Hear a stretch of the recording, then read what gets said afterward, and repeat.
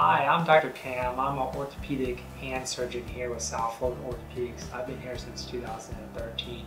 I specialize in the hand and upper extremities. I wanted to talk to you about wide awake local only hand surgery, which is something that I prefer and I perform a lot of.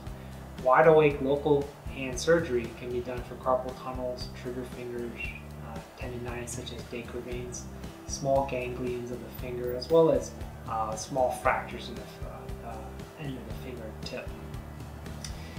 Wide awake local surgery has a benefit of not requiring any sedation or general anesthesia. Therefore, the patient doesn't have to fast. The patient can take all of the medication, eat their normal diet, uh, which can be very helpful for some diabetics and other patients that have medical problems. Um, because you don't need to be under any general anesthesia or sedation, no additional lab work or additional preoperative medical clearances are needed, which can save the patient money as well as time with no further additional appointments with other doctors.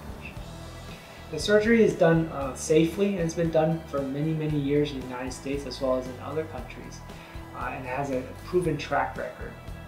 Uh, this, uh, this is actually the preferred way to go for a lot of my older patients that may have difficulty uh, getting to the surgery center because with wide awake you can drive yourself there and you can drive yourself home. Um, you can also be uh, fully participating in the surgery which can also be very helpful in terms of um, understanding the rehab after the surgery and also to ensure that the complete release has been achieved.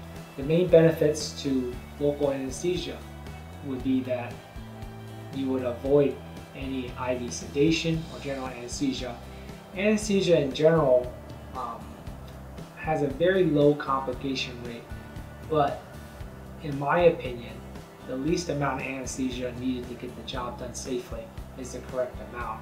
So for a lot of these small hand procedures, I prefer to do uh, wide awake local